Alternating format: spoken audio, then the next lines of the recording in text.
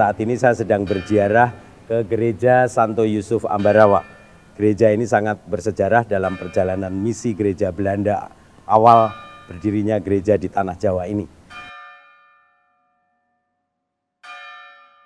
Gereja Santo Yusuf Ambarawa lebih dikenal sebagai Gereja Jago.